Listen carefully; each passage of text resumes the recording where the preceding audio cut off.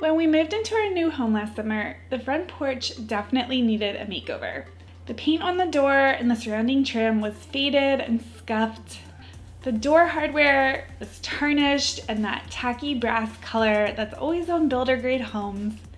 The siding was covered with dirt and spider webs, and our front porch concrete was really stained and dirty. The landscaping was overgrown with weeds everywhere, our porch ceiling light looked really dirty and old, not to mention the wasp nest that's on the ceiling that we just haven't had time to deal with. It was looking so dreary to me though, and I just couldn't stand it every time I walked to our front door, which was multiple times a day. So this summer, we decided to give it a makeover. I didn't want to spend a lot on this makeover, so here's what we did to make it over on a budget. Brandon is starting with the overgrown landscaping and clearing it all out. I'm not a big fan of landscape work, especially in the summer heat, but luckily Brandon actually likes this kind of yard work, so I'm happy to let him handle it. Another benefit to clearing out all of this brush is that we won't have any lizards hiding in it much anymore, here in Charleston, there are a lot of lizards and I really can't stand them, so I'm looking forward to not having lots of hiding spots for them around my front porch. With the overgrown brush gone, Brandon is getting the porch cleared off with the blower. And a fun fact about this blower is that it's actually from the 1970s it was Brandon's grandmother's blower and it still works really well. Isn't that crazy?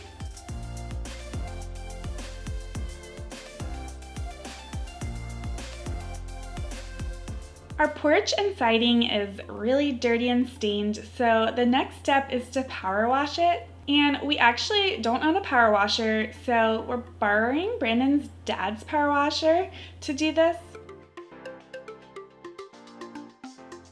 I feel like power washing is one of the most satisfying things. Does anybody else feel that way? This isn't the most high powered power washer, but it's doing a good enough job to get most of the dirt off. Unfortunately though, it's not getting all of the stains off like I was hoping it would.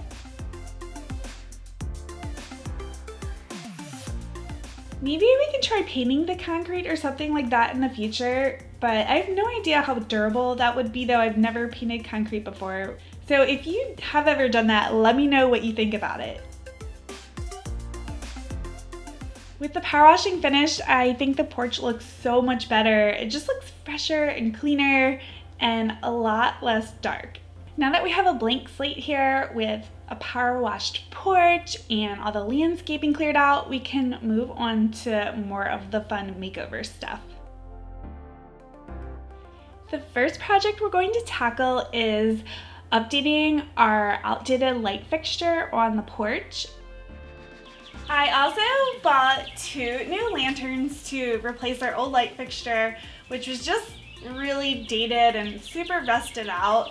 So I have been really wanting to do a pretty hanging lantern, but I wasn't quite sure which size was going to work best with our porch. Uh, so I got a bigger one and a matching smaller one, so I'm just gonna check those out and hold them up out over the front porch and see which one looks best scale-wise so I can figure out which one to install.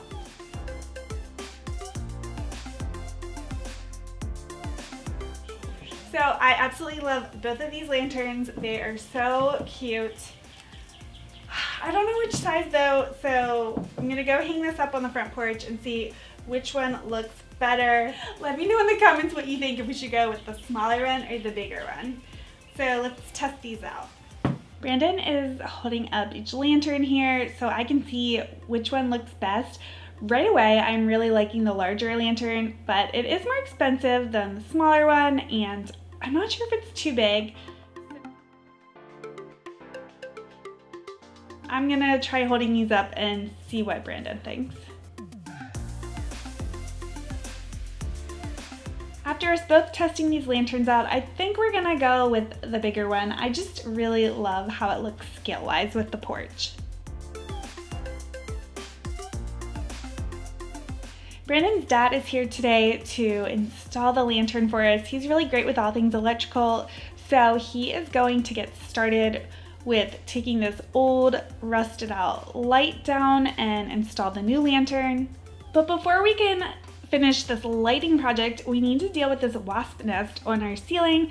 After power washing, they started rebuilding their nest and so I think we need to spray them with something, but I don't want to do any of those toxic sprays. So I'm going to try a more natural method of spraying them with some vinegar and water. I read about this on a Google search. Thankfully, Brandon's dad is gonna try this out for us and see how it goes. With the wasp nest gone again, Brandon's dad, Stephen, can start installing the new lantern. I'm a little worried it's going to be too low, but Stephen is about six feet tall and he has like an eight inch clearance with it, so hopefully it's going to be okay because I really love this larger lantern compared to the smaller one. While Stephen finishes up installing the lantern, I'm going to lay some weed barrier fabric down and Brandon's going to run to Lowe's to get some mulch and pea gravel. Although I'm not a huge fan of landscaping, I don't mind laying some weed barrier, especially if it's going to help keep the weeds under control. I do not like weeding. It's like one of my least favorite things to do.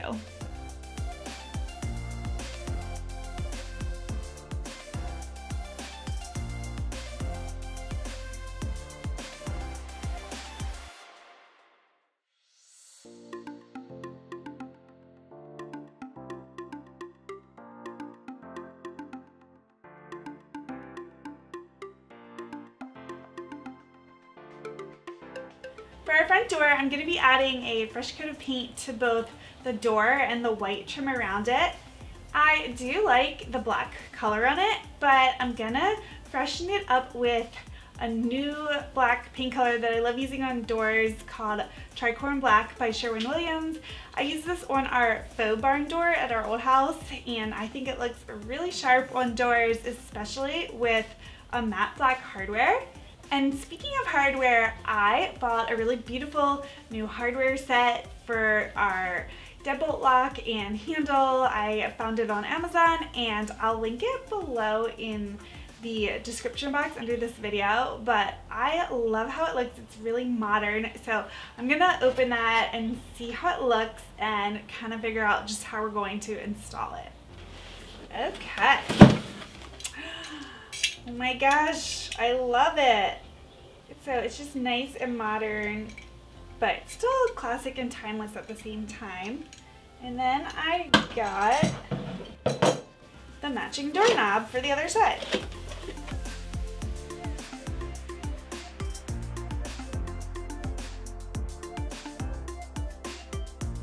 So I really love this new hardware, but before we can figure out how to install it, first I have to paint our front door. Before starting the painting of our front door, I am going to hang a sheet up over the front door so while I'm painting it I can leave it open for a few hours and that way it helps to keep like any flies or bugs out while I'm painting and also maybe try to keep some of the air conditioning inside so it doesn't all go out the front door.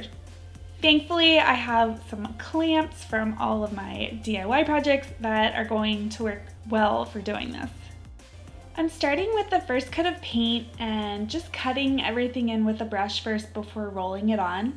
Painting your front door is one of the easiest and least expensive ways to make over your front porch. Paint always makes such a big difference.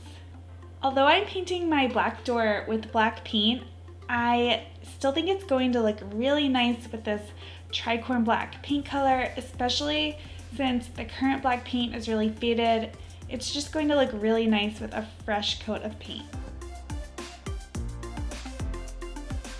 Our golden retriever, Chance, he loves to be part of every DIY project that we do, and he's always getting paint on his fur, but hopefully he won't get this black paint on him too much since it'll really stand out.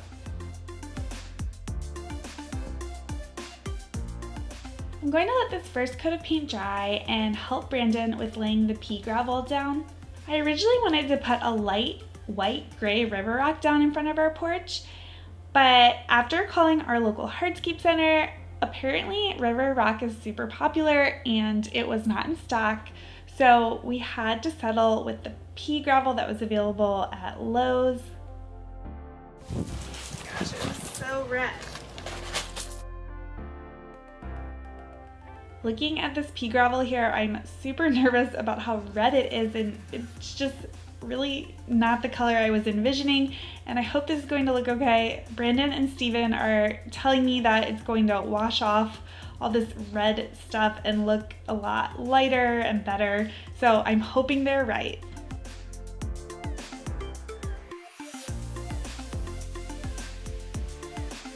It's time to finish off the front door with a second coat of paint.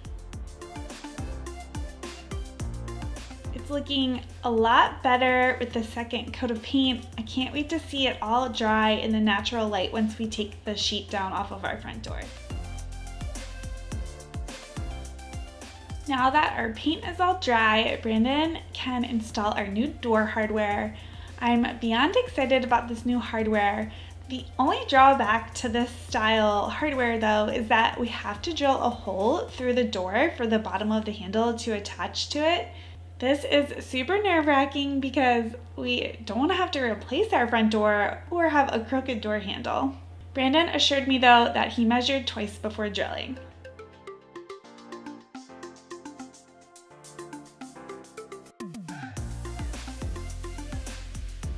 And thank goodness everything lines up and it's level. The last step before we can start decorating is to paint the white trim around the door. Again, this might seem like a subtle thing to do, but I think it's really going to make the porch look fresh and elevated. I would love to replace our front door and surrounding frame for a more modern door and a frame that doesn't have windows on each side, but it's really expensive and it's a project that we would have to hire out. So fresh paint and hardware is the best budget-friendly solution for us right now that we can do ourselves in just a day. It's time to start adding all of the finishing touches. I'm really excited about this new planner set I found. With our time crunch, I wanted to find a planner set available with two day shipping on Amazon, but I also wanted them to be budget friendly. I wasn't sure if I was going to have any luck because, well, nice large outdoor planners are usually really heavy and pricey. After an extensive two-night search, though, and reading a lot of reviews, I decided to order this beautiful three-piece set of concrete planners that are actually lightweight.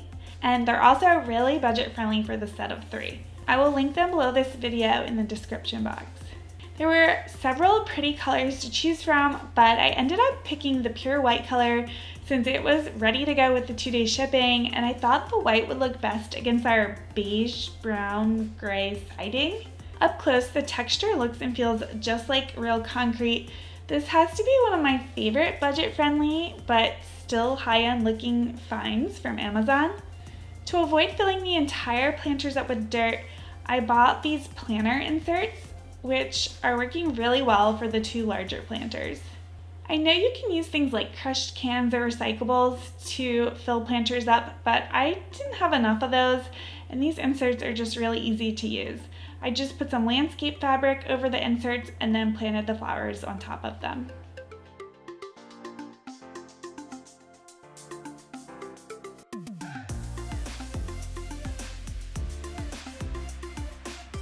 While I worked on the flowers, Brandon wrapped up the porch cleaning with one final power wash and rinsing off the pea gravel.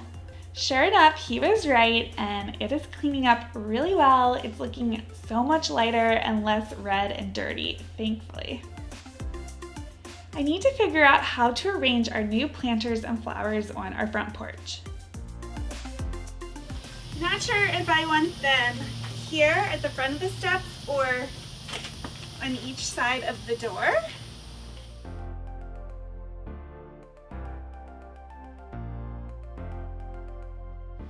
Okay, so I think for me to figure this out, I need to go ahead and put the doormats down to see what looks best with the planters as far as the doormat size goes. And I ordered a few different doormat options because I wasn't sure what I would like. So I'm gonna test those out. Originally, I wanted to reuse our old front doormat, but after power washing it, it still looked really worn out. So I ended up buying the same one to replace it since I really love the look of this doormat and it's held up really well for the past five years. I also bought two different styles of outdoor rugs to test out and layer underneath of the doormat. I think this black and white rug isn't wide enough. I'm really loving this brown striped rug. I'll link it below this video along with my doormat. So I feel like with this really large layering doormat, I need to keep the planters up here. Otherwise the planters might sit funny sitting on the edge of it. So I can either do it like this or I could just get rid of the second layering doormat and just do the smaller one. Not sure what to do.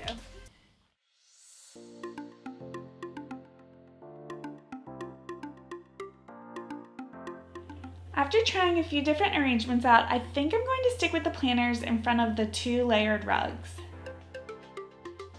Brandon is blowing all of the dirt off one more time before the final reveal.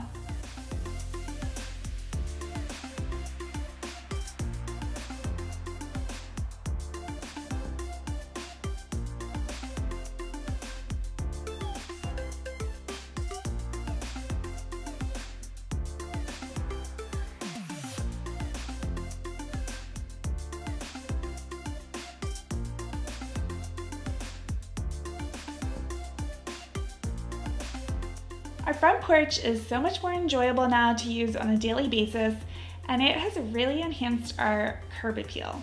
For about $500 and two days worth of work, it was totally worth it. I can't wait to decorate our front porch now for the fall and holidays. Make sure to subscribe and turn those notifications on so you don't miss any of my future projects. Thank you so much for watching.